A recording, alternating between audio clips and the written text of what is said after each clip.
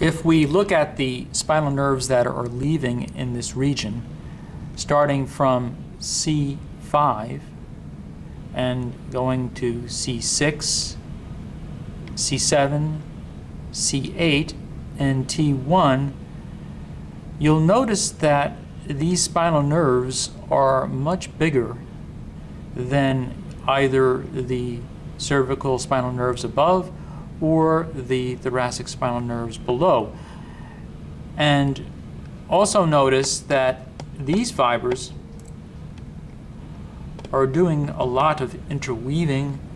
So at this point, we refer to these fusion points as the superior trunk right over here, the middle trunk, and the inferior trunk. But then the interweaving continues as we go further out. And then what happens is that we have what are called cords as we go further out. And this, this cord right over here is going to be a lateral cord, and this one back over here is going to be the posterior cord, and this one right over here is going to be the medial cord. This plexus here is the brachial plexus. The nerves that are going to supply the upper limbs, the arms, are within this plexus.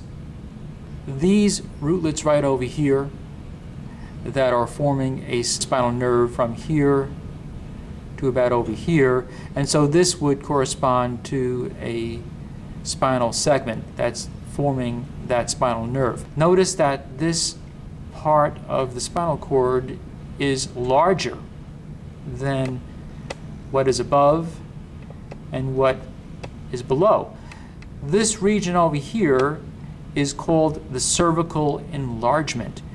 And the reason that this is bigger makes a lot of sense when you consider that these spinal segments, C5, C6, C7, C8, and T1, are all going to be the origin of the nerves which are going to supply innervation for the arms.